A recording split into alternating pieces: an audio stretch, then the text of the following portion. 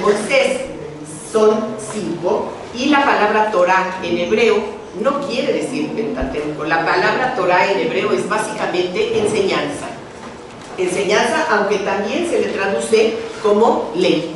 Pero en la Torah, en el Pentateuco, hay muchas otras cosas, además de ley. Entonces, creo que la palabra más atinada es enseñanza. ¿Y cuáles son los libros que componen la Torah? El Génesis, el Éxodo, el Levítico, eh, Números y Deuteronomio. Estos nombres derivan de las traducciones al griego porque los nombres originales de los libros hebreos no son nombres temáticos, sino el, el libro se llama según la primera palabra con la que empieza el texto. Entonces, eh, el, Génesis se llama Bereshit, porque es la primera palabra con la que empieza el texto, el Éxodo se llama Shemot, el Levítico se llama Vaikra, el Números se llama Bamidbar y el Deuteronomio se llama Devarim. Nada que ver con los nombres eh, en, español que son temáticos, o sea, aluden al tema principal de cada uno de los libros. En la segunda parte del Tanakh, lo que sería la N, las vocales no cuentan. La N en hebreo son Nevi'im, quiere decir profetas. Y esta, eh, esta parte, este, este bloque, está dividido en dos partes. La primera parte se llama Los primeros profetas y son libros historiográficos. No tienen profecía, no tratan de profetas.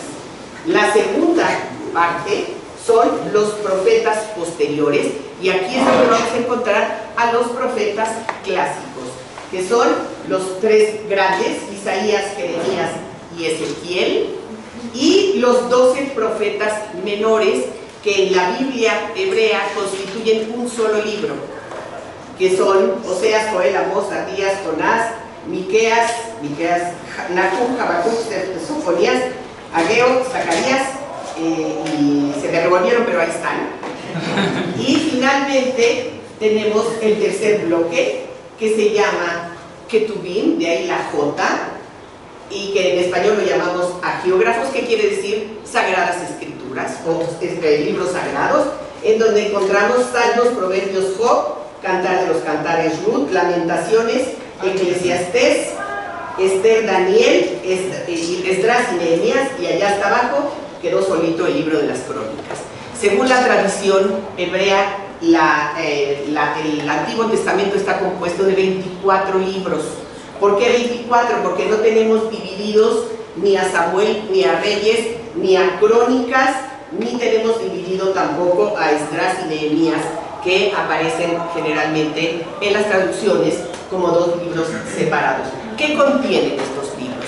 Contienen la historia del mundo y del pueblo de Israel desde la creación, que de eso trata el principio del libro del Génesis, y hasta el año 536, 516, más o menos antes de la era común, que incluye todo lo que fue eh, eh, los patriarcas en la tierra prometida, la esclavitud de los israelitas en Egipto, el éxodo de Egipto, los 40 años de deambular por el desierto, la llegada a la tierra prometida, la conquista y el asentamiento de la tierra prometida, la época que se llama la época de los jueces, una época histórica en la cual el gobierno o la forma de organización política no era monárquica, sino una confederación tribal.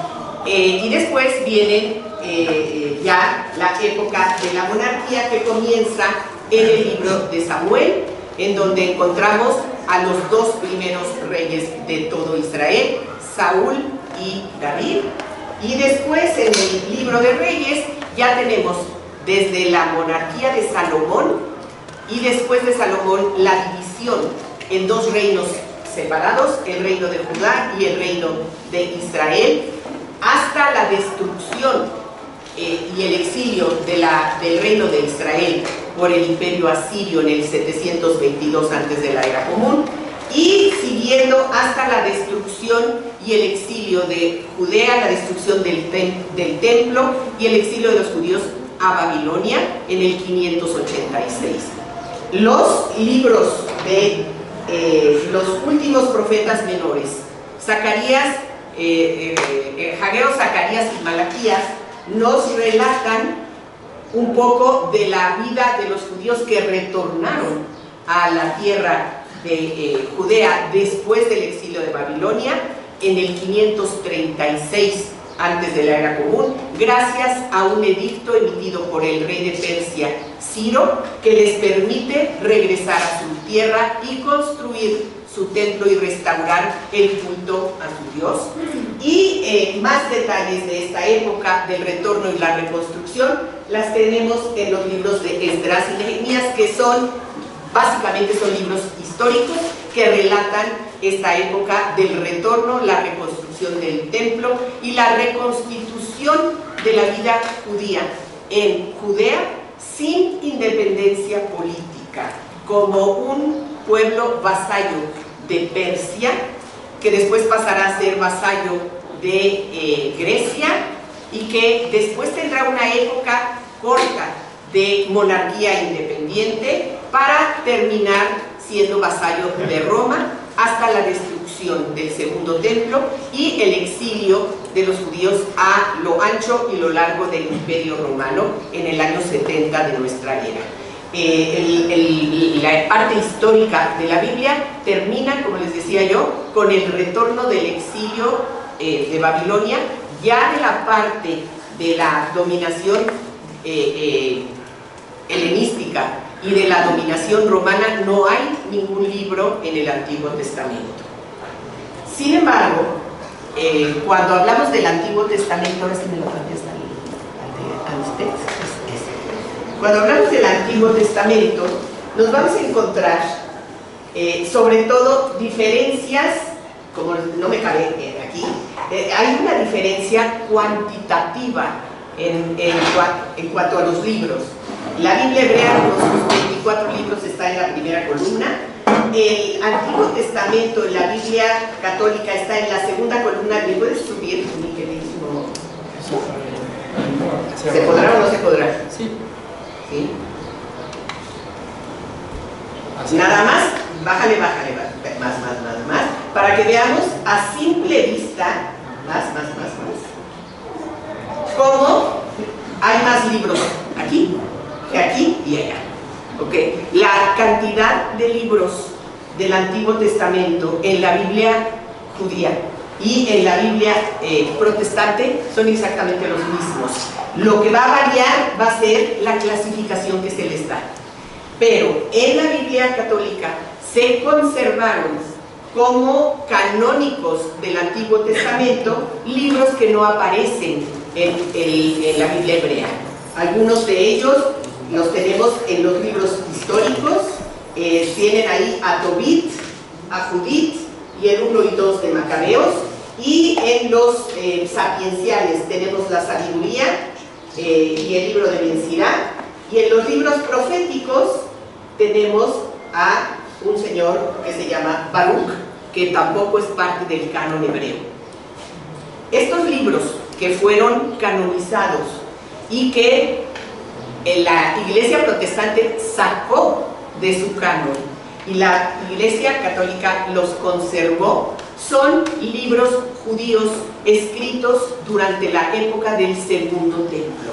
O sea, esa brecha que tenemos ahí entre el retorno del exilio, del primer exilio eh, eh, y lo que sucede hasta la destrucción del segundo templo, algunos de estos libros son de esta época, en particular los libros históricos de los macabeos, el 1 y 2 macabeos, relatan la época de la eh, rebelión de los judíos en contra de la dominación helenística, eh, a, partir de un decreto de conversión forzada, que los judíos tenían que abandonar su práctica religiosa y aceptar las prácticas religiosas paganas griegas, y a partir de esa rebelión se va a eh, gestar el reino independiente macabeo que va a durar aproximadamente unos 120 años. Y esa, esa historia la, la tenemos gracias a que estos libros fueron canonizados y todo lo que es canonizado se conserva con gran fidelidad y, exactitud, no se le quita y no se le pone absolutamente nada. Entonces, me era importante que viéramos que cuando hablamos del Antiguo Testamento, a veces no estamos hablando exactamente de lo mismo, porque hay libros del Antiguo Testamento que no son parte del canon hebreo, o sea, no son sagradas escrituras. Desde luego son obras judías eh, eh, y, perfectamente eh, verdaderas y válidas, pero no sagradas escrituras. Esto nos lleva a entender por qué el proceso de canonización de la Biblia va a ser tan importante y determinante. Gracias. Este,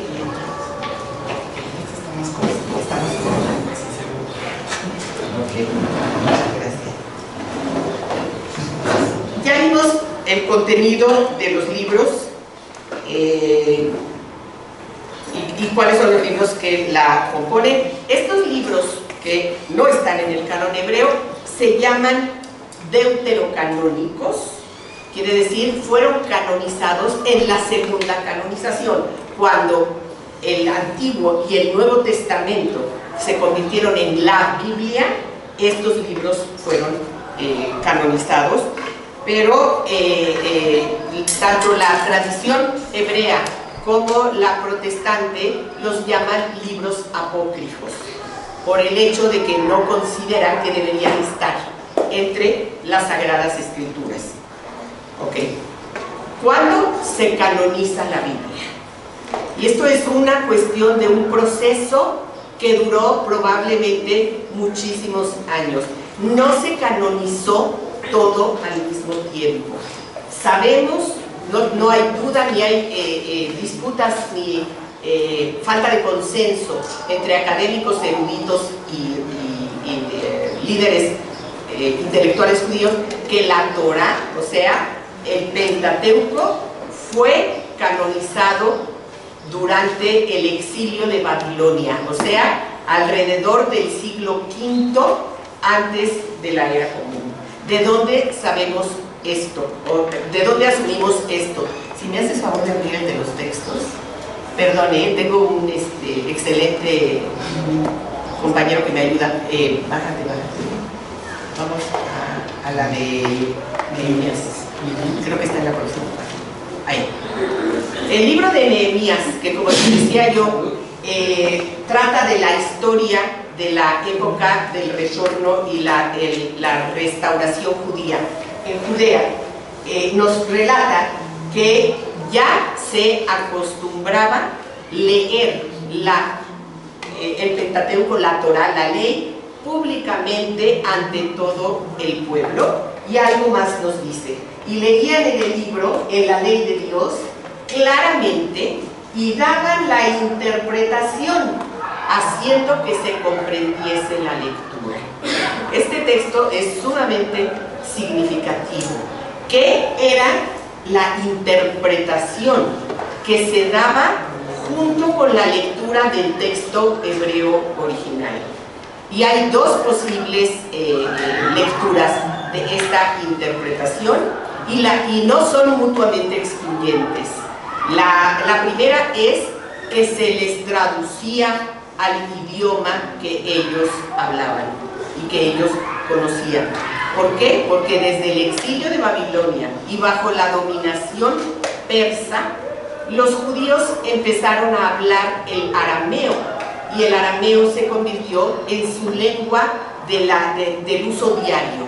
Y el hebreo siguió siendo el idioma de los textos sagrados, pero no todo el pueblo tenía la erudición en los textos sagrados ni el acceso a esos textos. Entonces, en la lectura pública se les leía y se les traducía.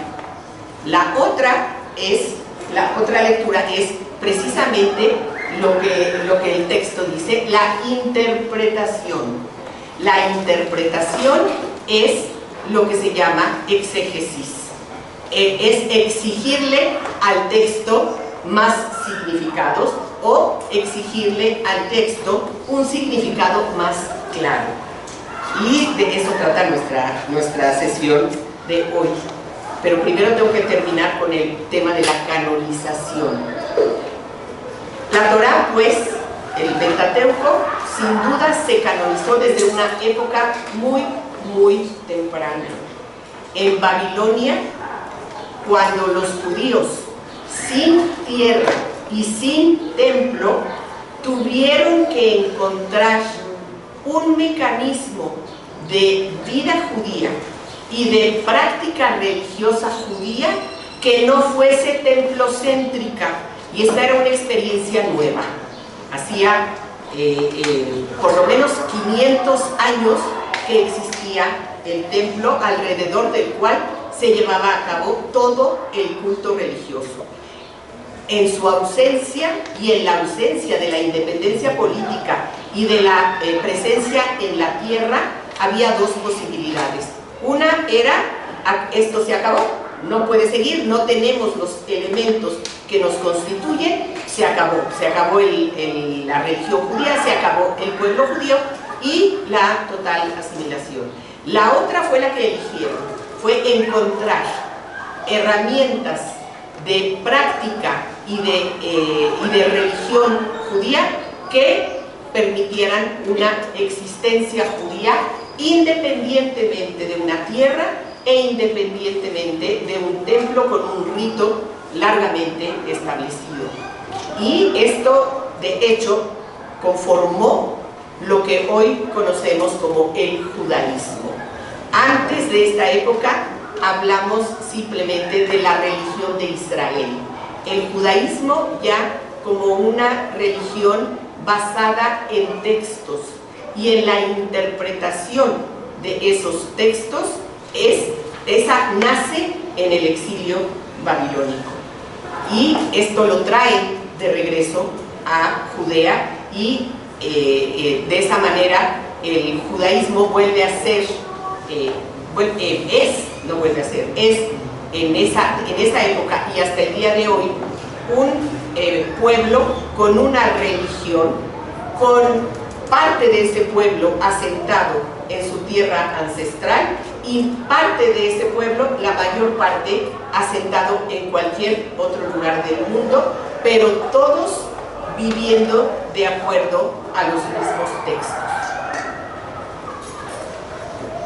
Tienes cara de igual, simplemente estás eh, escuchando. Si alguien tiene alguna pregunta, con mucho gusto, si no, al final eh, tendremos espacio y tiempo para pero si algo de lo que no estoy diciendo, digo lo que no estoy diciendo, si algo de lo que estoy diciendo no está claro, lo que no estoy diciendo seguro no está. Con mucho gusto.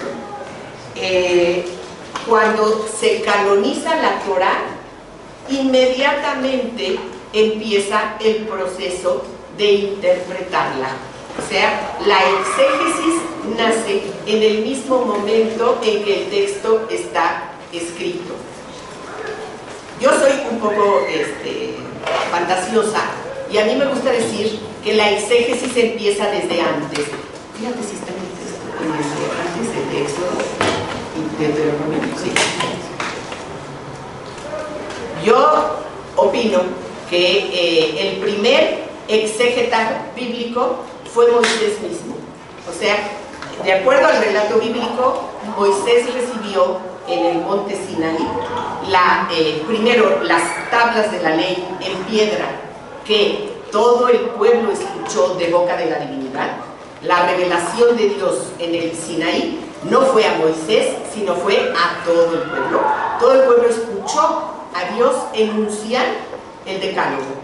Sin embargo, Moisés, antes de morir, se, eh, a recordarle al pueblo toda su historia hasta este momento con el objeto de que recuerden cuáles han sido los errores cometidos y que sobre todo resaltar toda la protección y la ayuda que han recibido de Dios desde los patriarcas y hasta este momento y les repite muchas de las leyes que ya aparecen en los libros anteriores. Eh, en el caso específico del cuarto mandamiento, que es el mandamiento de la, observancia del Shabbat, el séptimo día, vamos a ver que entre el texto como aparece en el libro de Éxodo, como el pueblo lo escuchó enunciado por Dios. Y el texto relatado por Moisés 40 eh, años después en el libro de Deuteronomio, van a haber significativas diferencias. Por ejemplo, alcanzamos a leer el primer eh, renglón, lo, lo señalé para que no tuviéramos que buscar mucho. Te acordarás del día de reposo para santificarlo. Seis días trabajarás y harás en ellos toda tu labor. En el Deuteronomio Moisés les dice, guardarás el día de reposo. ¿Mm? Diferencia, no voy a entrar obviamente en, en toda la exégesis de lo que es, lo que quería es que viéramos que Moisés ya interpreta el texto agregándole ciertos elementos que aclaran para el pueblo lo que tiene que hacer. Porque un mandamiento que te ordena recordar resulta ser sumamente difícil de cumplir. ¿Qué implica? Que te pases todo el día, hoy es sábado, hoy es sábado, hoy es sábado, 24 horas. Además, ¿qué, qué, qué, este, ¿qué beneficio tendrías de eso? ¿Qué haría de eso un día especial? Entonces él dice, guardarás el, el día sábado, que tampoco nos queda muy, claro.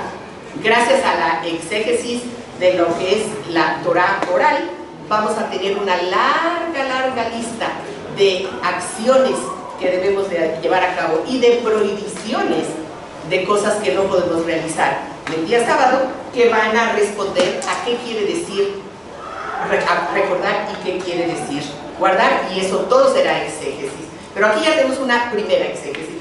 Y luego Moisés que les agrega, como el Eterno tu Dios te ha mandado. En el Éxodo no tiene que decir eso porque lo están escuchando directamente de Dios. Pero qué tal que la generación que ya está ahora no lo escuchó.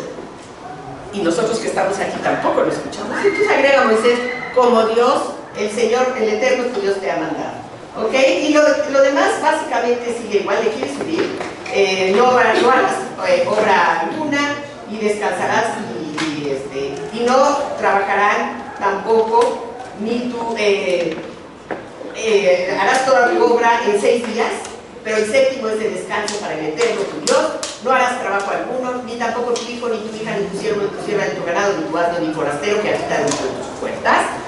Sin embargo, en Éxodo, ¿qué dice después? Porque en seis días eh, hizo el Eterno el cielo, la tierra, el mar y todo lo que en ellos hay, y descansó el día séptimo.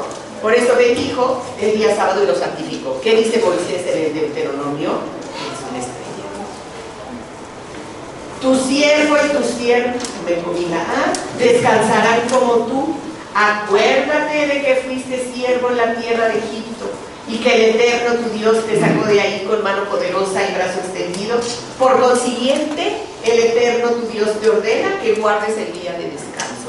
Y no refiere en absoluto el tema de emular a Dios en el reposo sabático de después de la creación. Sobre, estos, sobre estas diferencias se han escrito muchos volúmenes de exégesis, pero yo, yo acostumbro, así lo vi desde que lo vi la primera vez, decir, aquí encuentro a Moisés siendo el primer exégeta de la Biblia, se toma la, y tiene la atribución de explicarlo al pueblo de una manera que puedan entender. Porque es más al alcance de la comprensión del pueblo esta última razón para la, observancia del reposo sabático, porque es algo de lo cual vienen saliendo de esta experiencia. La experiencia de esclavitud la traen en la piel y debajo de la piel y el hecho de que nos digan que el siervo y la sierva son como tú y tienen que descansar como tú es el gran, eh, la gran innovación del pensamiento bíblico en su parte legal. La igualdad de los seres humanos ante eh, Dios y obviamente ante la ley también. Entonces, eh, ahora sí podemos eh, seguir un poco más adelante porque quiero hablar de la canonización del resto de los bloques de los libros del Antiguo Testamento la Torah quedó como el texto de todos en todas partes, se podía llevar de un lugar al otro.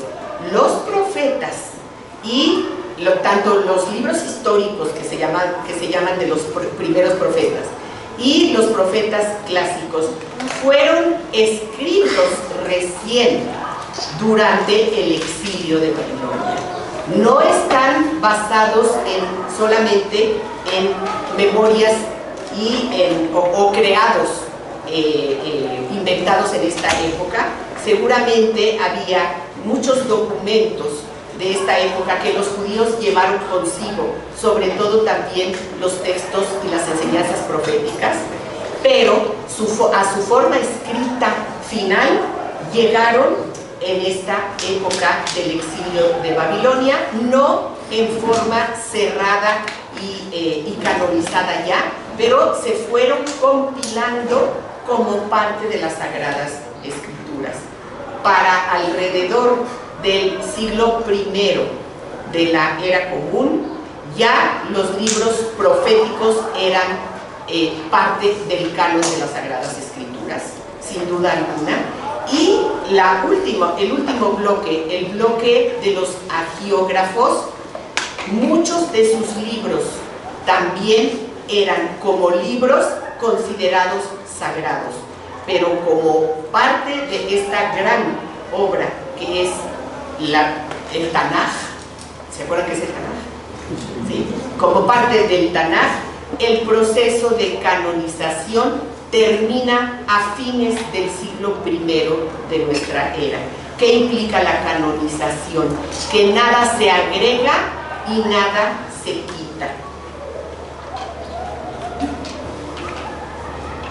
Están pensando si vemos no, está bien, está bien. ¿Cómo? lo que sigue es Shemot Sí, no, ya, ahí, espera. Eh, puesto que los, los eh, libros se canonizan, existía muy eh, patentemente el peligro que su contenido se petrificara y se fosilizara. Como no se le toca, no se le quita, no se le pone, podían haberse convertido en textos fósiles que no fueran relevantes para nadie. Pero resulta que para el pueblo judío la Torah es palabra directa de Dios, es revelada, como les dije, revelada ante todo el pueblo y por lo tanto tiene ciertas características. En primer lugar, tiene validez eterna. El Eterno nos dio una ley que es eterna. En segundo lugar, tiene un valor absoluto. Dios, que es el absoluto, nos dio una ley que es absoluta. Estos dos elementos, la eternidad y el valor absoluto de los textos, hacen que sean necesaria, que sea necesaria la comprensión y el conocimiento de su contenido para la vida diaria de cada uno de los miembros del pueblo judío. Por lo tanto, este texto es un texto vivo en todo tiempo y en todo lugar. Va a haber ciertos problemas, obviamente.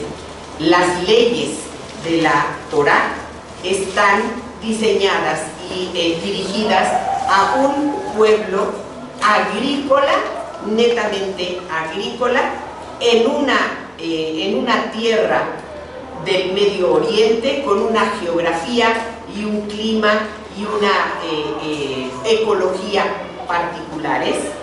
Y eventualmente, debido a la historia, los judíos fueron a dar a cualquier parte del mundo. ¿Y cómo se hace para que esta ley siga siendo válida, vigente y vivible en diferentes circunstancias, en diferentes coyunturas, en diferentes realidades, en diferentes épocas, cuando el mundo va cambiando, los hombres, las civilizaciones y las culturas van evolucionando, todo esto se va a lograr mantener vivo y dinámico gracias precisamente al proceso que se llama la exégesis de los textos. Voy a regresar a esto. Quiero, creo que no dejé muy claro el tema de la canonización. Sí, ¿verdad? Sí, terminé. Eh, todos los libros, eh, toda, toda la Biblia quedó canonizada, entonces no tengo que regresar ahí. Pero estos tres bloques que tenemos, sí, Sí, bueno, aprovechando la cosa, me llama mucho la atención el tema de cómo se canoniza un texto. Eh, ¿Puedes explicar eso? Sí. Eh, no tengo ningún eh, documento o texto que darte en el que se haya conservado el protocolo de la asamblea en la cual se determinó qué libros sí entran al canon y qué libros no entran al canon. ¿Qué sí tenemos? En el caso de la Torá, este texto de Nehemías, que dice que leyeron el libro de la Torá, quiere decir que ese libro ya está. ¿Cuándo? Probablemente, ahí sí tampoco te lo puedo eh, eh, comprobar, pero probablemente en Babilonia por las razones que dije. El resto de los libros, hay sobre algunos de ellos discusiones que se, eh, conservaron en el Talmud, que será la siguiente gran obra de, eh, eh, interpretación y de exégesis de la ley y de la religión judía, y ahí encontramos textos que nos dicen que se discutía acerca de algunos de los libros si son o no son sagradas escrituras. ¿Y cuáles son estos libros? Son libros que en su momento fueron considerados problemáticos por aquellos que estaban frente a un, eh, eh, a un pueblo que consideraba que estas obras eran sus sagradas escrituras y la élite o los eruditos consideraban que estas obras tenían algunas cuestiones problemáticas. Un ejemplo de cuál es el libro que les parecía problemático es el libro del Eclesiastés. El Eclesiastés es un libro que parece tener grandes contradicciones con relación a otros libros bíblicos, sobre todo a los fundamentos de la religión judía, como es el tema del libre albedrío. en el judaísmo el tema del libre albedrío es un supuesto autoevidente, ¿sí? es entendido como aquello que Dios le dio al ser humano cuando lo creó a su imagen. Lo hizo libre, así como Dios es absolutamente libre, así al ser humano lo hizo libre. Y luego viene el eclesiastés y dice, todo lo que fue eh, eh, es lo que es y todo lo que será ya ha sido y no hay nada nuevo bajo el sol y, eh, toda una serie de posturas deterministas, absolutamente deterministas, que parecen negar el, principio de fe del libre albedrío de. A final de cuentas, sabemos que el libro de Eclesiastes sí entró al, al canon. En parte, gracias a que fue interpretado. Esos, esas posturas o estas expresiones fueron interpretadas de tal manera que se resolvieron los conflictos. Y aún en aquellas eh, partes donde la exégesis no logra resolver conflictos entre el texto del eclesiastés y los principios de la fe, de todas maneras el libro como obra de, de profunda filosofía de la vida se ganó su lugar en el canon. Otros libros que fueron considerados problemáticos son el libro de Esther, porque habla de una historia del pueblo judío que no sucede en la Tierra Santa. Entonces, obviamente una de las posturas sostenía que las Sagradas Escrituras tenían que ser las que el pueblo produjo mientras estuvo en su propia tierra. ¿Qué creen? El libro de Esther también entró al canon. O sea, ¿cómo se resolvieron las discusiones, no tenemos toda la información. Obviamente hubo una postura favorable que ganó en la discusión y los libros entraron. Otro, otro libro problemático fue el libro de Ezequiel. También las profecías de Ezequiel están eh, eh, dadas en Babilonia. Y entonces era la misma discusión. ¿Es un profeta de Israel o no es un profeta de Israel? Llegaron a la conclusión que sí, en ese caso sí tenemos el, el elemento por el cual decidieron que sí. Profetizó sobre el futuro de Israel y su tierra. Excelente, se acabó el problema de Ezequiel. Sí, eh, y de esa manera debe haberse dado la canonización de todos los libros. Sin duda eran aquellas obras que el pueblo, el pueblo, nosotros, todos aquí presentes, considerábamos que eran representativas de lo que somos y de lo que pensamos y de lo que queremos. Y, e ir en contra de lo que el pueblo considera sagrado sería un acto de eh, tiranía y de autoritarismo eh, inaceptable y entonces vemos que aquellos que tomaron las decisiones finales tuvieron siempre esta amplitud de criterio para aceptar que aquello que el pueblo santifica es santo. No tenemos que andar buscando más lejos. Ahora quiero regresar, eh, eh, porque dije que en la, tradición rabínica, que es la que va a crear el Talmud, eh, los tres bloques que componen el Tanaj son tres niveles diferentes de santidad. Dice, la Torah es palabra directa de Dios no hay mediación entre Dios y el pueblo. Su palabra es tal. Como él la enunció, así está escrito, lo cual convierte a Moisés solamente en el transcriptor de la palabra divina. Entonces, el nivel de santidad más grande de todo el, eh, el Antiguo Testamento lo tiene la Torah. La segunda parte, los profetas que dice el Talmud, los profetas en profecía hablaron.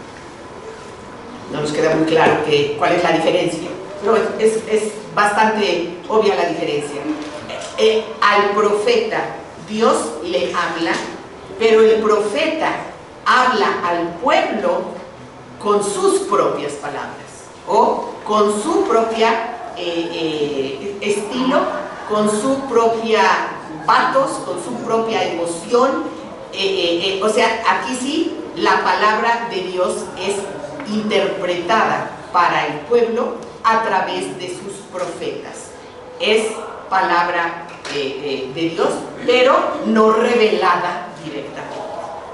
Y finalmente el tercer bloque, que son los agiógrafos, a donde están los salmos, los proverbios, el libro de Job, el libro de Esther, el libro de Ruth, eh, el Eclesiastés, las Lamentaciones, el Cantar de los Cantares, eh, y Nehemiah, Daniel, el libro de Daniel, lo canonizaron pero no lo pusieron en el bloque de los profetas, lo pusieron en el bloque de los agiógrafos. Eh, ese, ese, dice el Talmud, es, son libros inspirados palabra de Dios, palabra de Dios mediada, eh, eh, entregada o recibida a través de los profetas, inspirados. El nivel de santidad de los agiógrafos, por lo tanto, es el más bajo de los tres, pero los tres en conjunto conforman las Sagradas Escrituras. Eh, puesto que la palabra de Dios, la Torah, es palabra de Dios directa, y es, como les dije, eterna y absoluta, es fuente inagotable de nuevo conocimiento y de, nuevo, eh, y de nueva comprensión de los mismos textos. Este es el fundamento de la exégesis. Todo está en la Torah porque es de origen divino y porque Dios, eh, que es eterno y absoluto, puso ahí todo lo que necesitaremos saber y comprender de aquí a la eternidad. Esto, ah, sí. Eh, que la Torah está escrita en hebreo y que esa palabra de Dios quiere decir que Dios habló en hebreo. Eso es lo que se asume desde el punto de vista de la fe, que el hebreo es la lengua de Dios, no solo de la ley, sino la lengua de la creación eh, eh, una de las de los midrashim, de, estas, estos comentarios o interpretaciones de la Biblia, sostienen que el, hebreo es el idioma de la creación y, el, y la Torah son los planos que Dios utilizó para la creación del mundo. Obviamente estos son Midrashim, con el doctor Weinstein van a eh, estudiar, van a aprender más acerca del Midrash, que es una de las formas de exégesis que hay de la, eh, de la Biblia. Ahorita voy a hablar un poco más sobre esto para poder eh, adelantar, adelantar. Entonces, en la Torah está todo lo que algún día vamos a poder saber y lo que algún día vamos a poder comprender. ¿Cómo lo encontramos? He ahí la función de la exégesis. ¿Y quiénes son personas autorizadas para interpretar los textos bíblicos? No hay que tener ningún título de ninguna universidad, ni ningún grado de doctorado, ni de ningún otro tipo. El acceso al texto y la autoridad para interpretarlo nos es dada a todos. Cada uno de nosotros puede leer el texto y derivar de él las enseñanzas que para él son pertinentes. Esto es con respecto a todos los, eh, a todos los aprendizajes morales, humanísticos, eh, eh, filosóficos, psicológicos y sociales. Pero la parte que se refiere a la ley, o sea, la parte que dice de qué manera tenemos que comportarnos, ya sea el uno con el otro, o el uno como parte de la sociedad, o la sociedad como parte del uno, etcétera, etcétera. Las normas de conducta, esas solo pueden ser interpretadas de acuerdo a criterios y normas hermenéuticas perfectamente establecidas y obviamente el acceso al, al, conocimiento, a la comprensión y al uso de estas reglas hermenéuticas, es así no está al alcance del común de los mortales, sino es el patrimonio de los eruditos. Pero en el pueblo de Israel, el, ser erudito no requiere de ninguna pertenencia a ningún, ningún grupo, a ninguna clase, a ninguna... Eh, eh, ¿Qué otra palabra puedo usar? Aparte de clase o de... Eh, de no, de, de estrato. Gracias. A ningún estrato. ¿De dónde viene la, la autoridad para ser un sabio? Ese es el título honorífico que tienen. Para ser un sabio, de su demostración, de su amor hacia los textos de su respeto y devoción hacia ellos y de su práctica de aquello que los textos te exigen. Entonces, ¿quién puede ser sabio? Todo el que quiera ser sabio. No se necesita, no se conoce siquiera en, los textos bíblicos o rabínicos un concepto parecido al del eh, inconsciente intelectual. Y cuando se habla de inteligencia, generalmente se está hablando de sabiduría sabiduría e inteligencia no son lo mismo. En el, en, el lenguaje bíblico, en el Antiguo Testamento, la sabiduría tiene que ver mucho más con la virtud que con la inteligencia. El sabio, sí, tiene que saber, sin duda, tiene que conocer los textos, tiene que saber, eh, eh, tiene que conocer al hombre para poder ser un sabio pero sobre todo tiene que ser una persona de virtud. De otra manera, no se gana el respeto de la gente. Como les decía, sabio es un título honorífico, no es un eh, estatus al que se llega. ¿Y, ¿Y? El que demuestra conocer, saber, tener devoción y cariño por aquello que, eh, que sabe y que vive de acuerdo, congruentemente de acuerdo a la ley y a la, y a la tradición, esa persona es un sabio. ¿Estás levantando la mano o no? Eh, ok, entonces podemos, sí,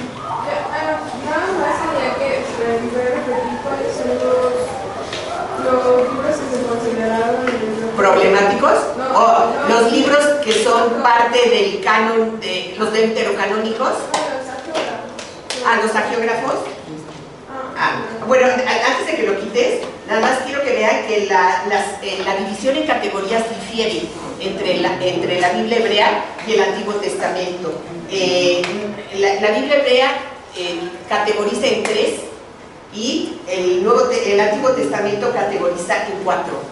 Difieren un poco también entre la católica y la protestante. A ver, vamos para arriba y luego vamos para abajo. Gracias. ¿Ok? Pentateuco, todos lo llaman Pentateuco. Los profetas eh, eh, se dividen en, en el Nuevo Testamento en libros históricos, libros sapienciales y libros poéticos en la católica y en la protestante libros poéticos, libros proféticos y los de hasta abajo son los libros nada más, no, me falta una categoría. Debería de haber cuatro, aquí también. Ah, claro, históricos, poéticos y proféticos. Los otros son históricos sapienciales y, pro- y proféticos. No, no, no los categorizan como libros históricos, sino como libros, digo, no como poéticos. Gracias. Gracias, gracias.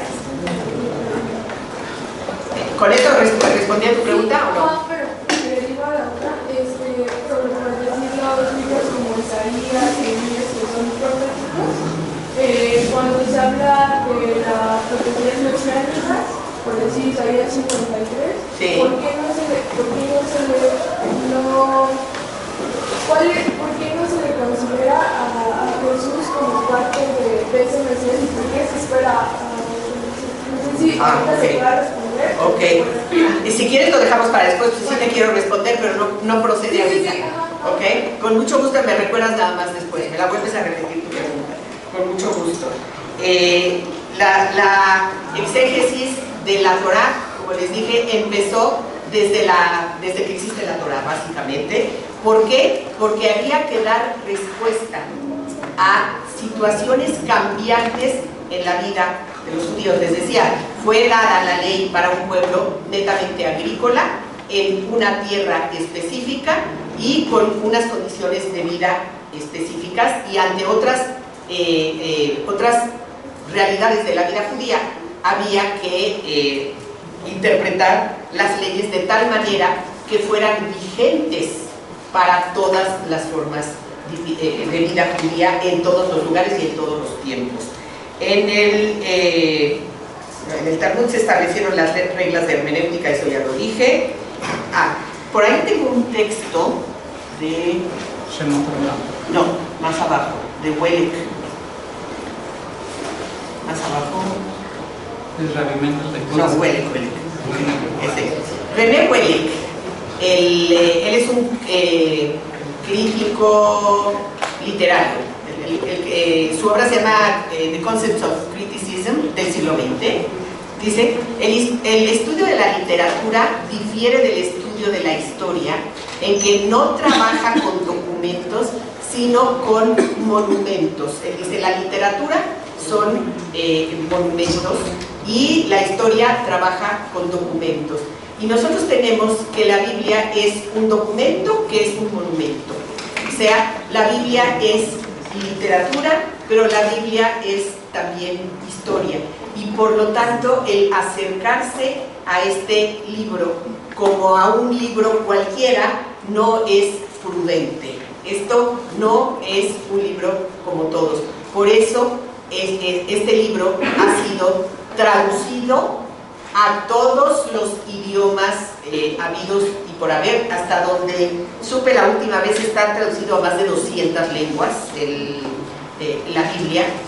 Eh, y esto nos debe de decir algo, que este libro es relevante para todo hombre o para todos los grupos humanos de todo tiempo y de todo lugar.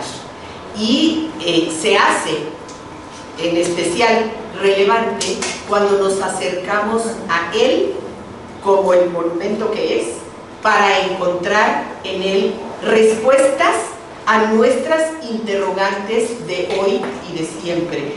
No hay, voy a decir, muchas otras obras que puedan, eh, eh, de, las que se pueda decir lo mismo, por no decir que no hay ninguna otra.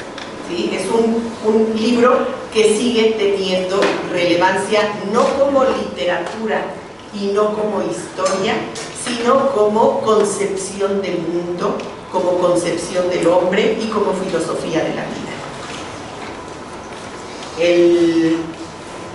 a lo largo de los siglos se ha creado una enorme cantidad de eh, exégesis alrededor de los textos muchísima de ella compilada en diferentes obras, eh, y esa misma riqueza de material eh, se sigue enriqueciendo con más y más y más que se sigue escribiendo alrededor eh, de la Biblia y de sus diferentes interpretaciones.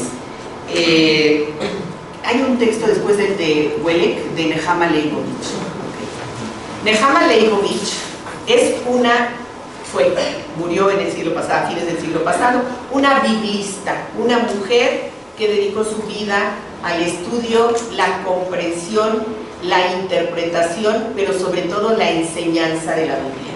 Tuve el privilegio de ser su alumna en algún momento y eh, ella es maestra, era maestra de Biblia. ¿Y qué nos dice?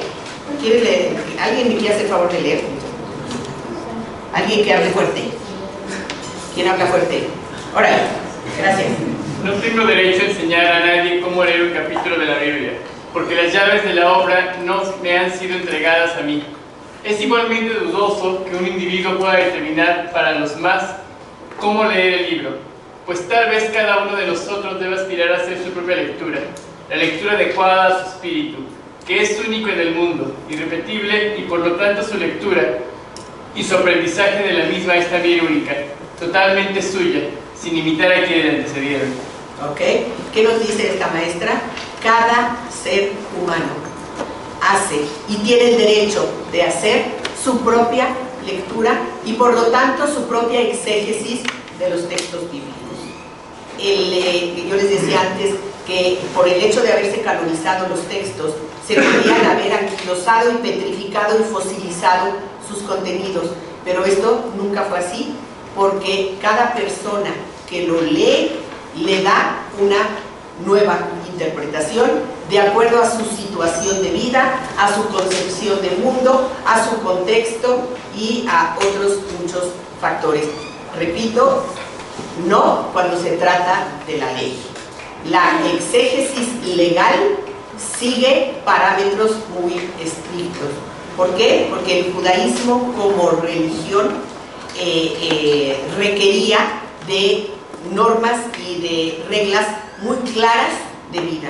El judaísmo es una religión que abarca todos los aspectos de la vida. No es una teología solamente, no es solamente una, una forma de culto y devoción, es una forma de vida. La, religión judía eh, norma todos los aspectos de la vida humana, desde, eh, desde que el hombre nace, eh, lo, que, lo que se come, lo que se pone, lo que dice, lo que debe de decir y lo que no debe de decir, lo que, eh, cómo se debe comportar con su prójimo, cómo debe presentarse ante Dios, cómo debe de comportarse ante las leyes civiles, ante las leyes criminales, cómo debe comportarse ante las leyes sociales, en fin, todos los aspectos de la vida eh, eh, están normados por la ley bíblica. Y la ley no es solamente una ley religiosa, pero si la tomamos como unitaria, entonces toda práctica de vida es una práctica religiosa. Eh, la ley, por lo tanto, tiene que estar muy claramente definida. Y lo que pasa con la, la ley de la Torah es que nos da preceptos, nos da Esto tienes que hacer, esto tienes que hacer, esto tienes que hacer, esto no debes hacer, esto no debes hacer, esto no debes hacer. Pero no nos da un elemento indispensable para poderlo llevar a cabo. Y ese elemento es el cómo. En este caso que veíamos del Shabbat, del, sábado. Guarda, recuerda. ¿Cómo? La exégesis de la ley vendrá a decir y a contestar a cada uno de los posibles cómo. Eh, primero dirán, eh, eh, recuerda el día sábado, son todas esas acciones positivas que tienes que realizar, o sea, positivas me refiero son acciones que tienes que realizar en sábado que son diferentes a las de los otros días. Y guardar es cuidar todas aquellas cosas que está prohibido hacer en el sábado. ¿Algún ejemplo? Cosas que hay que hacer en sábado, que sería la aplicación en la práctica del recuerda el día sábado. Por ejemplo, encender velas cuando inicia la celebración del sábado. Esa es una eh, forma de recordar. O un ejemplo de eh, eh, cuidar cosas que no podemos hacer en sábado, está prohibido encender fuego en sábado. Entonces, la, jurisprudencia, la exégesis de la ley es la jurisprudencia y es la que permite que la ley pueda ser aplicada a la vida. Y como es de, la vida de todos, no es como la ley en cualquier eh, país donde el, área de la ley es de la competencia de los, eh, eh, de los eh, jueces y de los abogados y de los que trabajan y los que se dedican a hacer jurisprudencia. Y el resto de nosotros no nos incumbe en lo absoluto. Pero la ley bíblica es la ley de la vida entonces incumbe a todos sí. Este, respecto a las leyes de las personas que son extranjeras cuando tengo las que no son judías y se quieren incorporar a al judaísmo me parece que hay versículos bíblicos que hablan sobre que también, bueno, son aceptados, como ya lo mencionaba anteriormente, y también tienen que cumplir con, con la ley, pero que hay aquellos que son extranjeros que no quieren adentrarse como una cultura judía, pero dentro de su contexto, o sea, no Medio Oriente, eh, quieren, quieren practicar este, tradiciones judías o les interesan las cosas del judaísmo, eh, se, puede, se puede aplicar, este, es aplicable y por ello ya pertenecen a, a, una tradición judía o no, o nada más específicamente al pueblo judío. Ok. Eh, has tocado un tema sumamente complejo, como para que yo te lo conteste aquí, porque lo único que voy a decir ahorita es que en, en ese sentido el judaísmo es diferente de cualquier otra religión, en el sentido que no es solamente una religión en el sentido de la práctica, la teología y la práctica religiosa, sino que es la religión de un pueblo.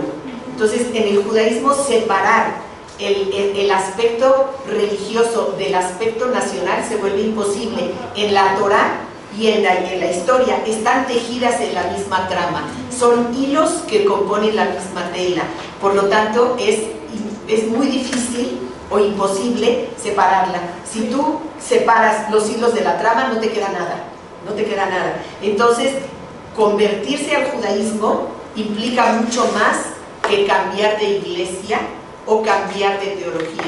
Implica pertenecer a otra civilización que incluye una religión, pero no es solamente una religión. ¿Ok? Ahora sí que salí del tema, pero era, eh, creo que era importante su, su pregunta y aclarar esto para que tengan una idea más clara de lo que es el judaísmo, que no es solamente una religión. Es igual que el Islam, una civilización. Y por lo tanto tiene muchísimos elementos que la componen. Eh, quería ver otra cosa. Ah, el, el, el, la exégesis precisamente permitió que los judíos les concediéramos autoridad a los rabinos para eh, eh, interpretar la ley en situaciones inéditas o cambiantes, basándonos en un, fue lo que hicieron, pero no aceptamos, basándose en un versículo del Deuteronomio que dice, cuando tengas una pregunta, acude a quienes sean los líderes o la autoridad en aquel tiempo y aquello que ellos te digan lo harás puntualmente. De eso derivaron que Dios le concede a sus seres humanos, a, a, los hombres que liderean a su pueblo, la autoridad para interpretar su ley. Y eso ha permitido que la ley en el judaísmo haya sido normativa la misma básicamente en todas partes y en, situaciones muy muy diferentes. Hay diferencias entre comunidades judías de costumbres, pero de ley y de jurisprudencia todos eh, acudimos y todos abrevamos de las mismas fuentes. Y reconocemos la autoridad de aquellos que están preparados para interpretar la ley. Repito, para interpretar los aspectos eh, eh, filosóficos, psicológicos y humanos de la, de la Biblia, tenemos la misma autoridad todos, como dijo mi maestra Nehama Leibovich, cada uno de nosotros hace su propia lectura de acuerdo a su espíritu y cada uno de nosotros es único e irrepetible, por lo tanto la lectura de cada uno es única e irrepetible. No obliga a nadie más a pensar como pienso yo, no obliga a nadie a eh, aceptar lo que digo yo, pero sí obliga a todos a respetar lo que pienso yo y a aceptar como viable lo que, lo que yo opino, perdón, con respecto a los textos.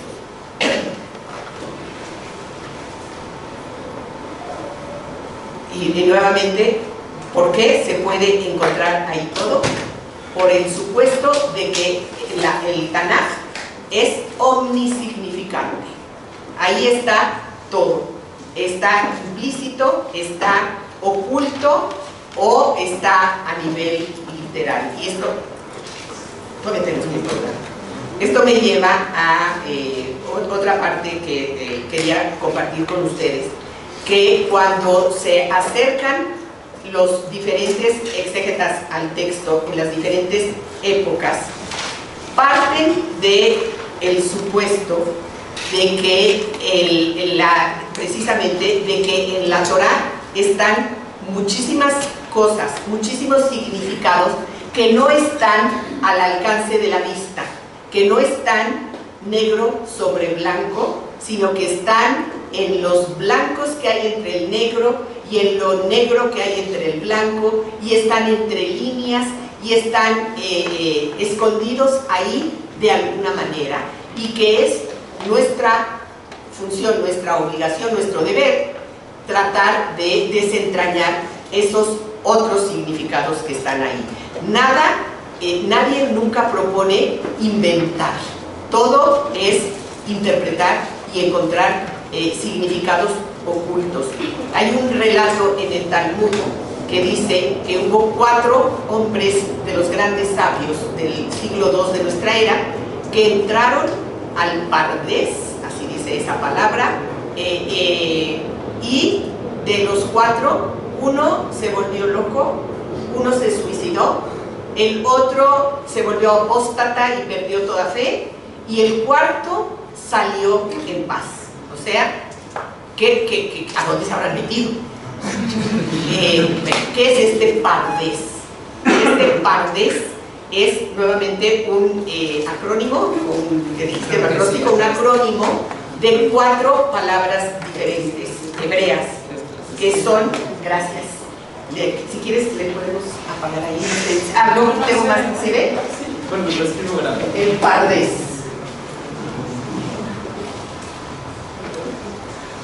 Las vocales no. Okay. En hebreo, las vocales no tienen representación gráfica, no se escriben. Okay. Entonces, ¿qué es, esta, ¿qué es este acrónimo? La primera palabra es pshat. Pshat, no los voy a obligar a que la para que la pronuncie. Es, es, quiere decir el sentido literal.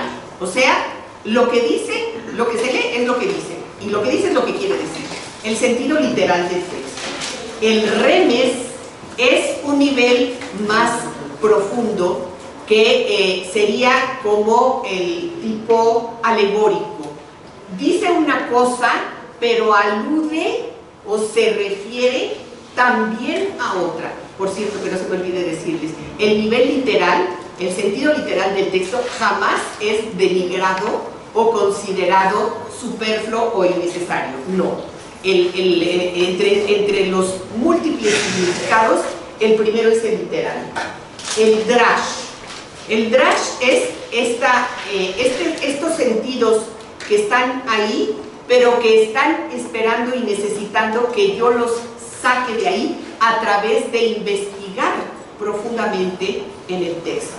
Drash quiere decir exigir, también quiere decir estudiar, pero quiere decir lidrosh, quiere decir exigirle al texto más de lo que me está dando en su nivel de su sentido literal. Y luego hay un último, el sod. El sod quiere decir secreto. Hay en la Torah secretos que no están al alcance del común de los mortales. De este nivel de Sod será todo lo que se trabaje en la Kabbalah. Se trabaja el nivel del secreto, que eh, según la Kabbalah, todos los secretos del universo están codificados y escondidos dentro del texto de la Torah. ¿Qué quiere decir esto entonces? Que la, eh, podemos eh, leer, podemos leer la Biblia desde múltiples puntos de vista y encontrar, por lo tanto, múltiples eh, mensajes y significados en ella. Las, la, la, la exégesis bíblica en el judaísmo la podemos básicamente dividir en tres épocas, tres etapas.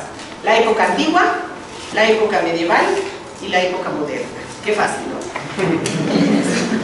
Está fácil. De la época antigua tenemos eh, lo que se llama el Midrash. Ya Dani comentó lo que era el Midrash, no, ya lo comentará.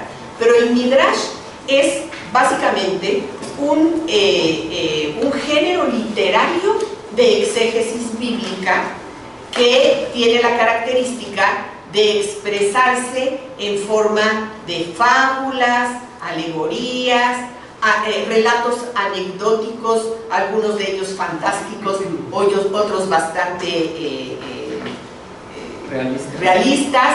En fin, es un género literario de exégesis bíblica. Y hay dos corrientes o dos, dos ejes de este tipo de exégesis. Una es la que es la exégesis legal, y en la exégesis legal no hay este, eh, fábulas, ni leyendas, ni, anécdotas, ni, cosas fantásticas y maravillosas, porque la intención de la exégesis de la ley es simplemente explicarle y enseñarle al pueblo cómo tiene que hacer aquello que Dios le pide que haga.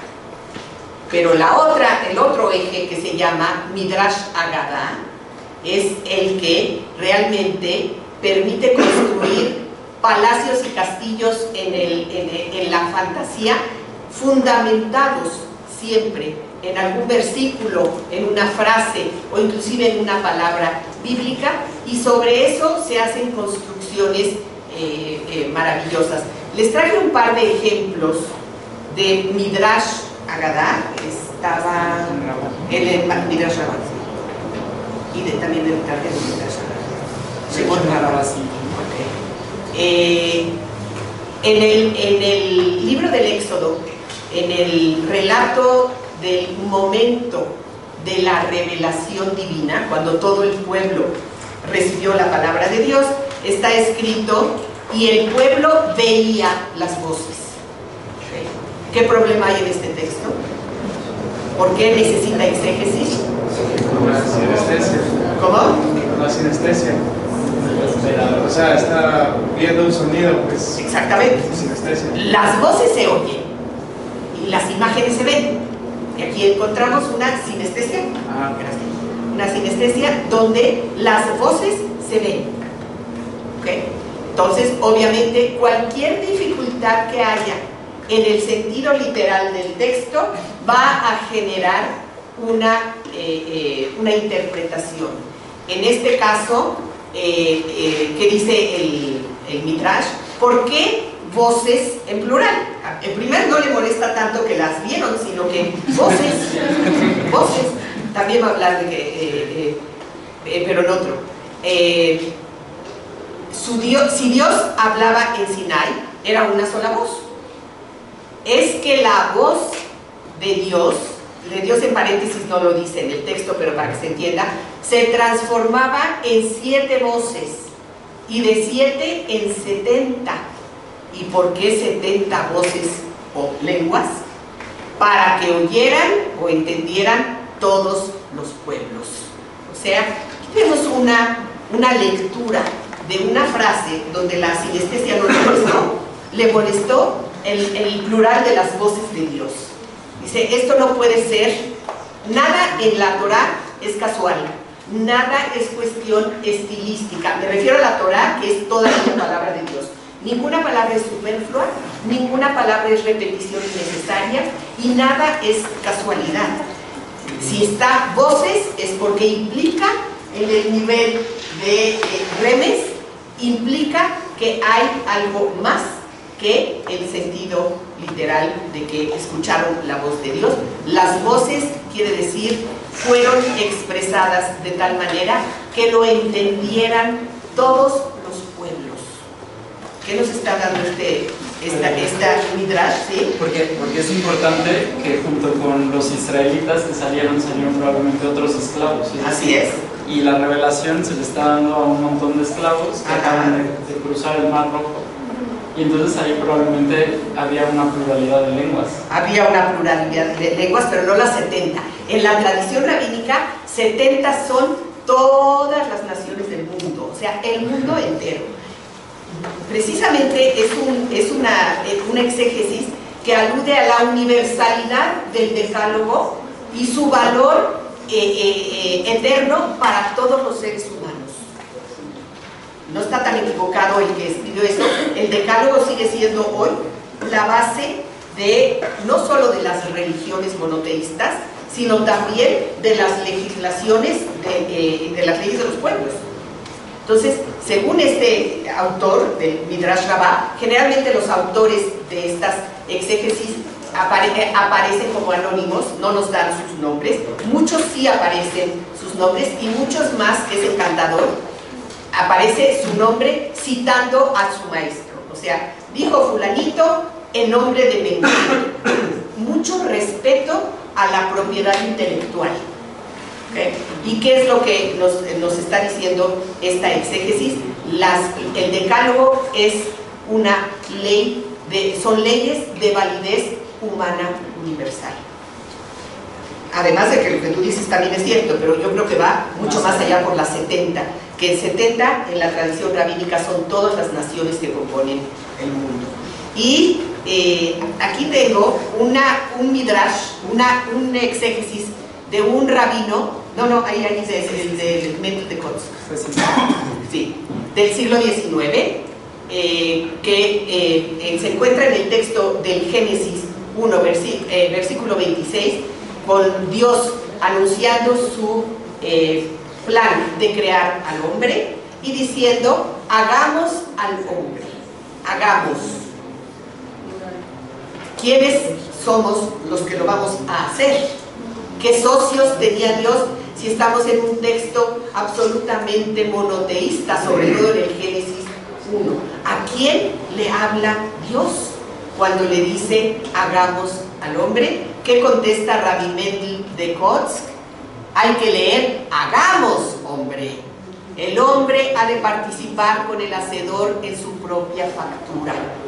No le habla a otros dioses, no le habla a los ángeles, no le habla a ningún socio. El socio de Dios en la formación del hombre es el hombre mismo. Hagamos, dice Dios, tú y yo. Yo te voy a dar las, eh, las herramientas, las habilidades, todo lo que tú necesitas para ser un hombre. Yo te voy a hacer ser humano, pero tú te vas a convertir en hombre. La palabra hombre en la tradición judía es de una connotación muy amplia. Si yo decía que sabio es un hombre de virtud, hombre es un hombre, lo que se diría, cabalmente eh, eh, eh, todo lo perfecto que puede ser un ser humano. No solo en virtud, sino en, en actitud.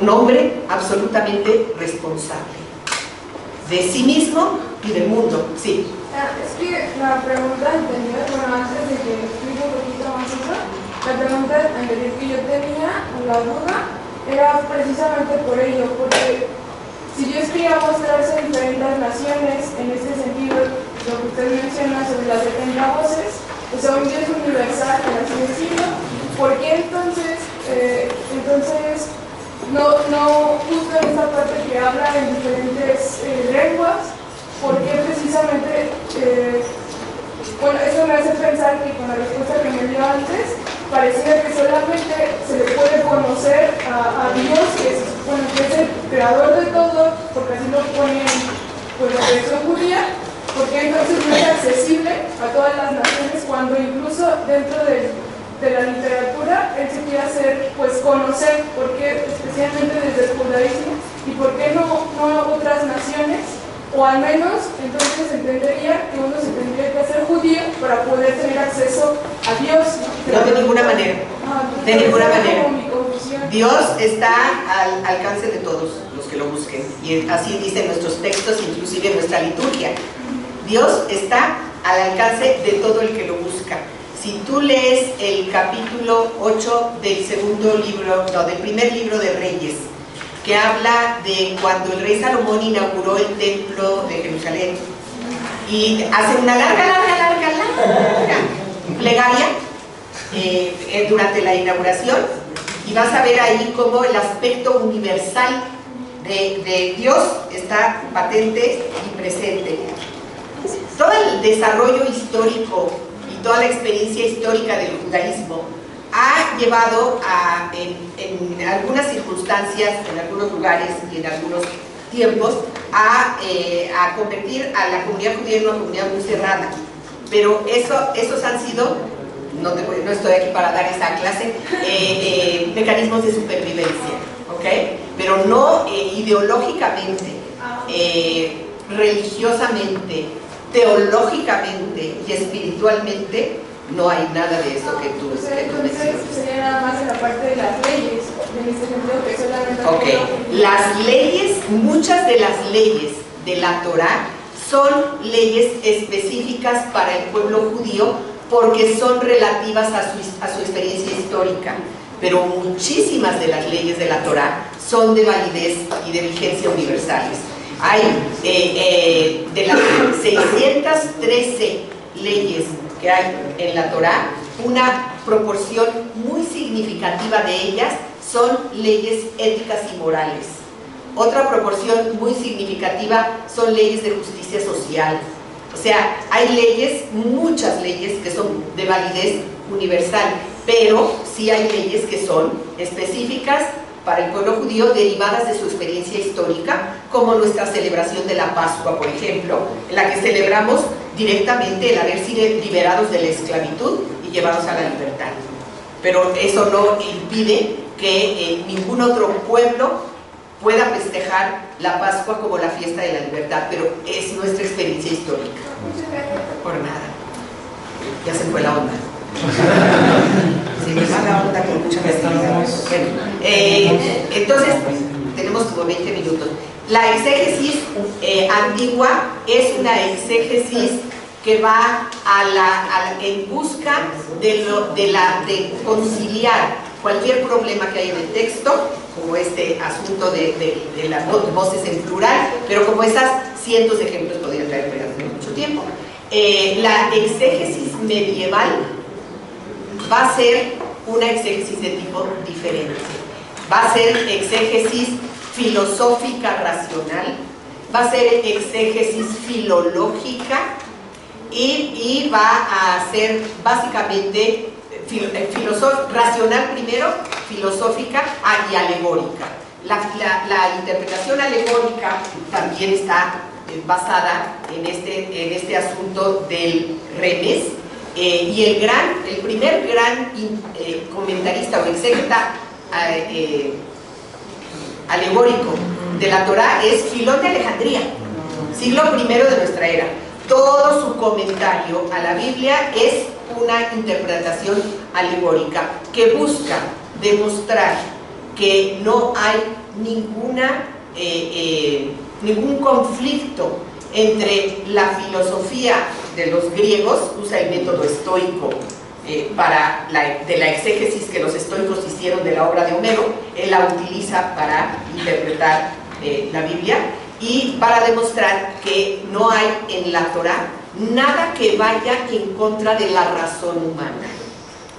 Entonces, es una especie de eh, apologética, una, es una interpretación de apologética o de apología, pero no porque él no creyera firmemente en la verdad y en la revelación y en la eternidad de la ley, sino quería hacerlo ver a todos los judíos helenizados de su tiempo y a los no judíos cuánta eh, eh, profundidad filosófica eh, hay en los relatos de la Torah, que está ah, escrita en lenguaje humano, el lenguaje que el hombre común puede entender, pero que contiene además muchísimos mensajes para los que profundizan en ella como filosofía. Y, y, eh, Maimónides será uno de los ejemplos de la, de la interpretación filosófica eh, racional y eh, de los filólogos vamos a tener, por ejemplo, en España a un Ibn que eh, encuentran que a través de la comprensión profunda del significado de las palabras, también se comprende en una dimensión mucho más amplia el mensaje de la Torah. Y la, eh, eh, les traje al rabino Mendel de Kotsk del siglo XIX, y igual se siguen creando nuevos comentarios de exégesis, la legal también, pero la no legal, la que podemos hacer todos, cada día en todos lugares donde alguien lea la Biblia y le encuentre un significado o un mensaje para él o para su entorno en ese momento. Muchas gracias por su muchísima paciencia. Ahora sí, pregúntenme lo que quieran que yo sepa, porque si me preguntan de física cuántica no sé nada.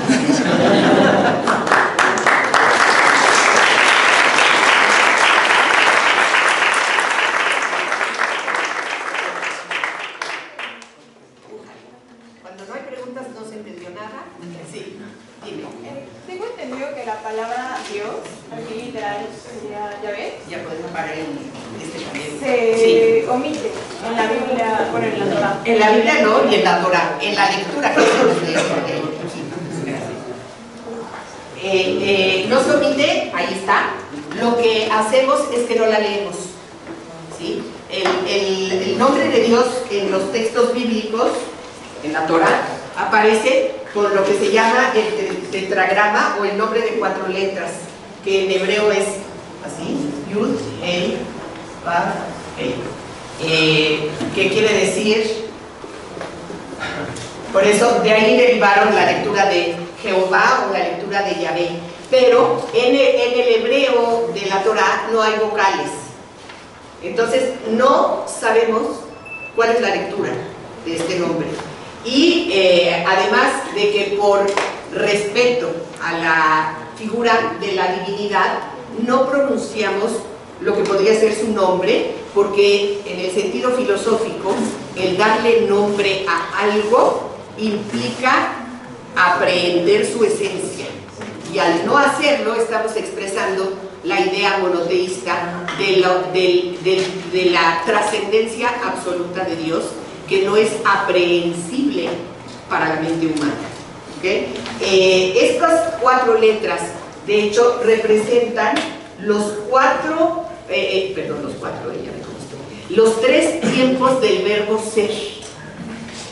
O sea, pasado, presente y futuro. El que fue, el que es y el que será. Por lo tanto, esto en las traducciones judías de la, de la Torah van a encontrar que lo traducen como el eterno. ¿Sí? Eso es lo que hay, eh, eh, digamos, de contenido. ¿Cómo lo leemos? Cuando lo leemos, Adonai. Adonai, aquí no dice ni A, ni D, ni O, ni ninguna de esas cosas. Quiere decir nuestro Señor o Señor. Entonces, es una, eh, por un lado es una forma de, eh, de respeto, por otro lado es una, eh, una implicación de lo inaprehensible que es el nombre de la divinidad y entonces lo llamamos Adonai. Y aún para más cuidado, los que no dicen Adonai tampoco, dicen Hashem, que quiere decir el nombre, simplemente. ¿Qué encontraste? No, en Lech dice, Vayomer Adonai el Abraham, Lech y entonces lo traduce, y le dijo el Eterno Abraham. El Eterno. En esta, esta es una traducción judía, dice el Eterno. Las traducciones que ustedes van a encontrar, o sea, eh, las eh, protestantes viejas dicen Jehová, y las católicas lo cambiaron ya hace, desde el siglo pasado, por Yahvé. Pero nuevamente es poniéndole vocalización a este, eh, a este nombre o a esta dice qué decir esta representación de Dios sí Por ejemplo, yo las lecturas que he leído a veces del Éxodo menciona algo así como que el nombre que Dios le da a Moisés es soy el que soy, algo así.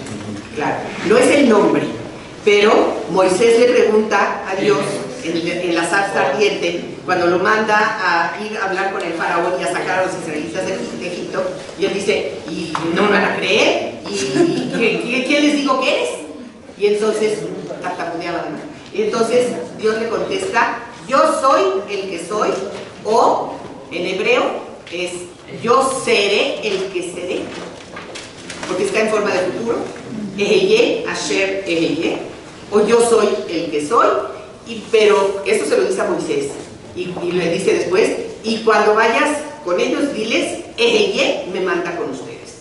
O sea, a Moisés le da como todo el, el completo, Eheye, Asher, Eheye, pero al pueblo Moisés solamente les debe decir Eheye. Eheye está incluido acá, ¿ok?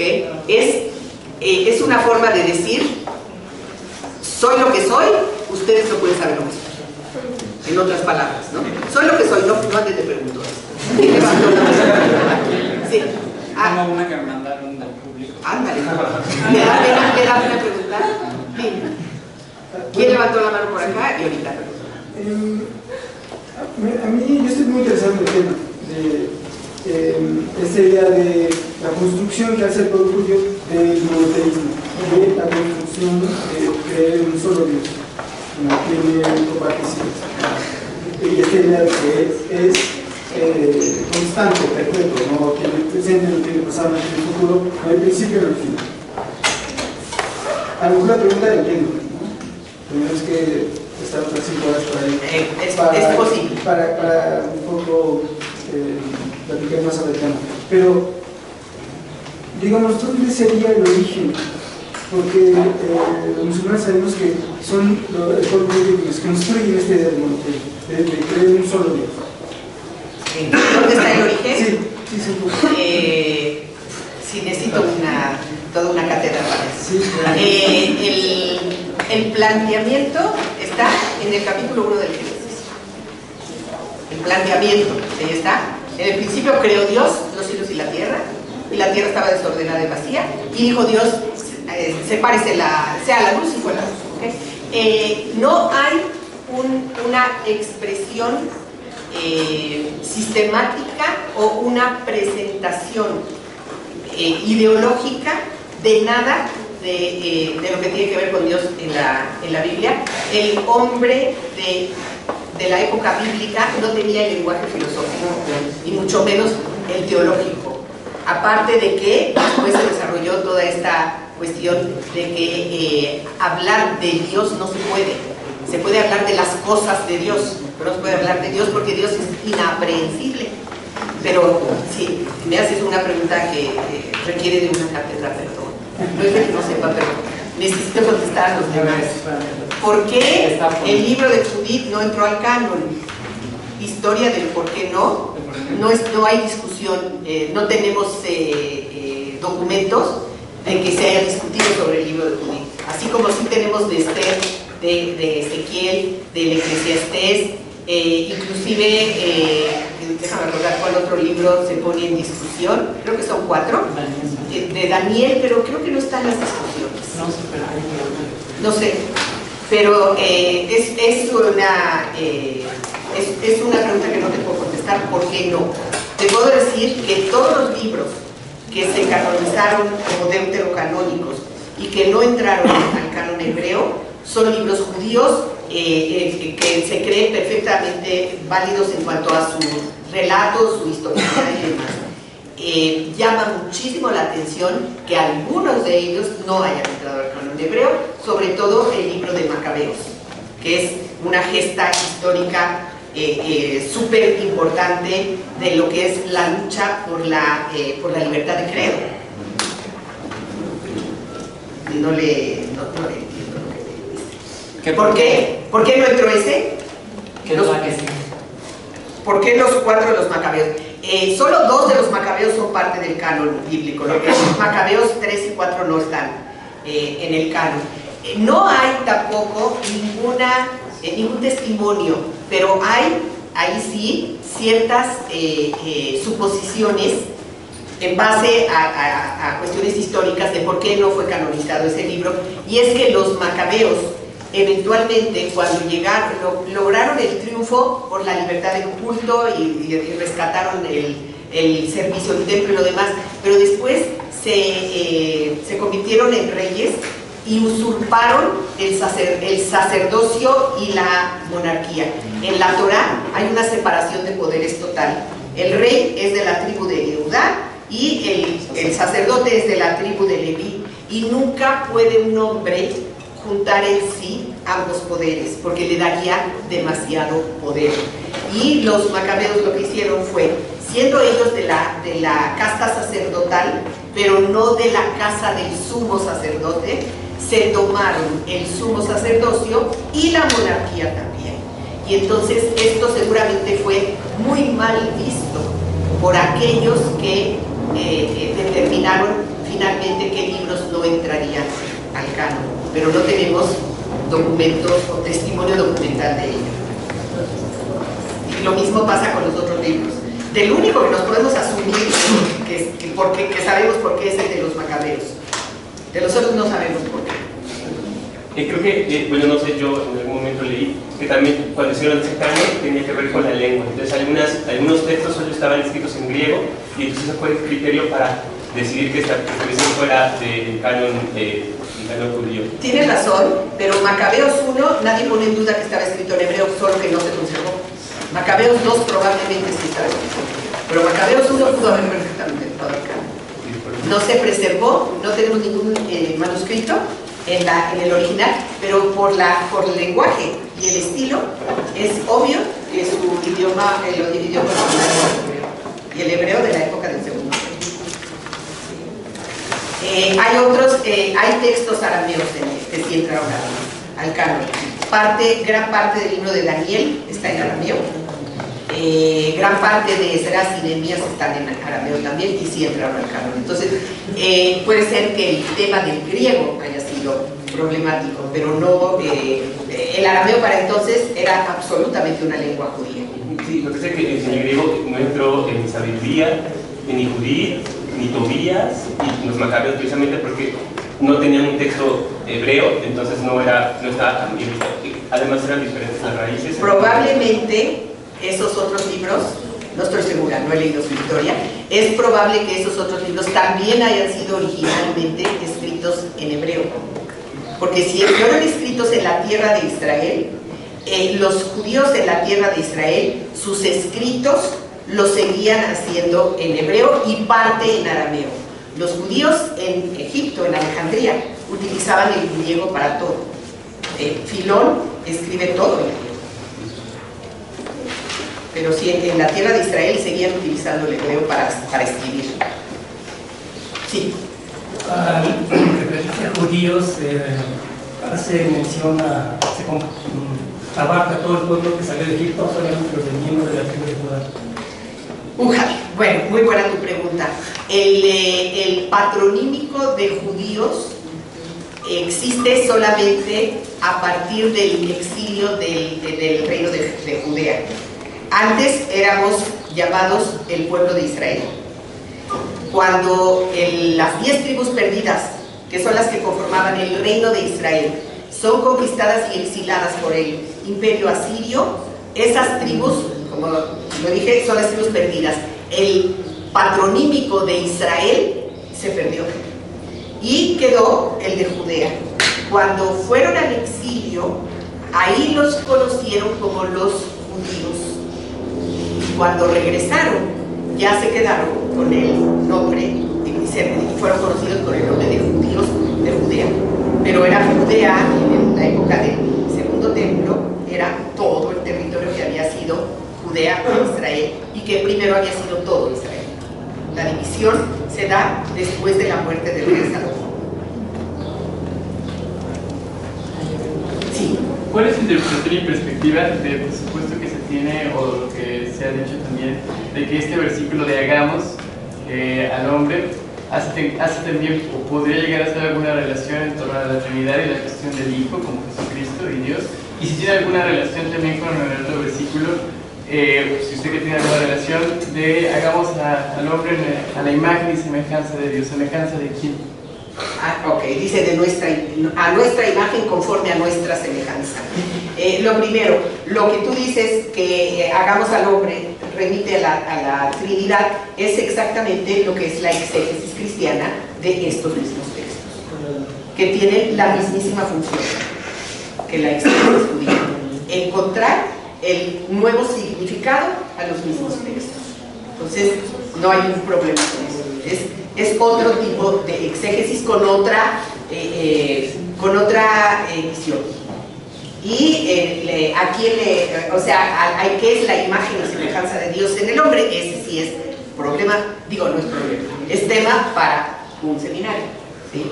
Eh, pero te voy a contestar una que a mí me gusta, que es la del Rabbi Mendel de Kotz, pero que también la, la, la menciona el filósofo judío Martin Bubesh. Él dice que Dios le habla al hombre que va a crear, diciéndole, entre tú y yo vamos a ser un hombre. Yo te formo, yo te doy mi semejanza, mi imagen. Porque eso es interesante. El, el texto dice, y creó Dios al hombre a su imagen, a imagen de Dios lo creó, varón y hembra los creó, no aparece la semejanza. Solo cuando anuncia que lo va a crear, cuando dice, hagamos a un hombre a nuestra imagen, conforme a nuestra semejanza, pero cuando lo hace, solo lo hace a su imagen. Entonces, dice Buber, la semejanza, ese es nuestro trabajo. ¿Qué es semejarse a Dios? Lo dice el, el- pensamiento rabínico. Así como Dios es piadoso, tú debes ser piadoso. Así como Dios es misericordioso, tú debes ser misericordioso. Así como Dios es amoroso, tú tienes que ser amoroso. Entonces, la semejanza es nuestro trabajo como seres humanos de emular a Dios en sus atributos de, eh, de, de bien. No muy ok. Sí. Eh, la exégesis judía contemporánea, ¿qué, piensa o qué tanto acepta las posturas de que en el texto bíblico se introdujeron tradiciones de otros pueblos?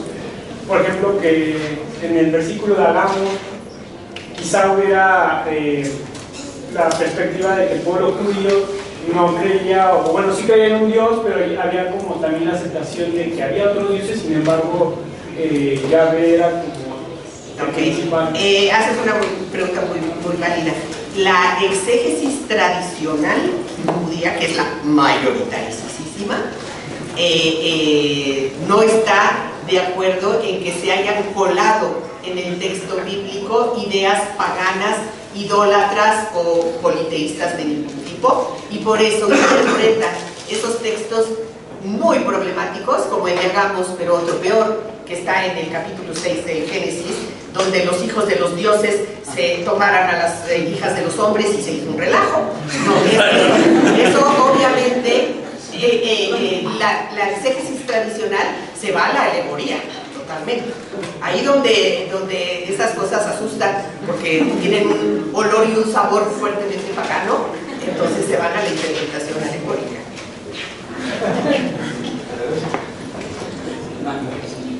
Eh, una cosa que quería decir con respecto a lo que preguntaste es que eh, en, la, en- en la exégesis no legal, o sea, lo que es el midrash, la libertad es absoluta.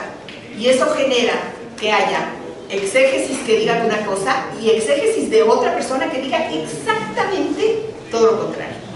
Y no hay pleito entre ellos, porque como ninguno de los dos es palabra de Dios, no tenemos que justificar, a ninguno. Y ahí están para que nosotros nos enriquezcamos con las ideas, las interpretaciones y los comentarios de todo tipo de, desde todo tipo de posturas. Puede haber contradicciones en exégesis entre rabinos y tradición sefaradíes y ashkenazíes. En la exégesis legal no puede haber contradicción. Puede llegar a haber diferencias, pero no son diferencias de esencia, sino de forma. En la exégesis, como decía yo, te adelantaste o me adelanté lo que ibas a preguntar, en la exégesis eh, del Midrash eh, hay de tocho morocho y todo se vale. Y además los autores de estas exégesis se toman toda la licencia poética que te puedas imaginar, al grado de que hay una, eh, exégesis que dice que Abraham sacrificó a Isaac en el altar y que luego Dios lo, eh, lo hizo resucitar. Historia que conocemos del Nuevo Testamento. Existe una exégesis así en el judaísmo también acerca de esta historia de Isaac. O sea, el texto dice claramente que Dios le dijo, no lo mates. Y, el autor de esta exégesis dice, lo mató y después Y a ver quién le hace algo. Nadie le hace nada. ¿En qué radican principalmente? Ok, ya te contesté. Bueno, pues eh, si nadie tiene más preguntas, le quería contestar un poco a esta niña. Su primera pregunta que dijo acerca de eh, Jesús, por qué Jesús no es reconocido o la llegada de Jesús no es reconocida como la llegada del Mesías y seguimos esperando la llegada del Mesías, por una razón bastante sencilla. Y es que el mismo Isaías, en el capítulo 11, describe lo que será la, eh, el mundo después de la llegada del Mesías, igual como en el capítulo 2 nos habla de que en el final de los tiempos ningún pueblo levantará la espada contra otro pueblo, contra otro pueblo y convertirán sus espadas en arados y sus eh, la- lanzas en asadones y no habrá, no se entrenará nadie más para la guerra. Ninguna de estas dos cosas se, realizó eh, eh, tras la muerte de Jesús, entonces por eso no es reconocido como, como y lo seguimos esperando. Como dice mi amiga, cuando llegue, cuando estamos esperando el mismo. Ahora que regrese y para ustedes llegue, se va a desentrañar todo el misterio. No tenemos, no tenemos por qué tener con eso ningún problema. que tenía, perdón, tenía entendido que supuestamente eh, era lo, lo esperaban como a ese libertador, pero también político, económico, No, etcétera, nada, nada cambió. Ajá, pues que ahí te dice que ese versículo, de- bueno, texto de, de Isaías 53, donde habla de la descripción de cómo va a ser el Mesías, y justo cumple, cumple. Perfecto. ¿Cómo lo interpretas? La exégesis cristiana lo encuentra punto por punto. La exégesis judía no lo encuentra así porque no lo busca. A ver, yo les voy a pedir un favor, tenemos que evacuar Tenemos que de- de y luego tiene que entrar la siguiente este, cátedra. Eh, tendremos, o sea,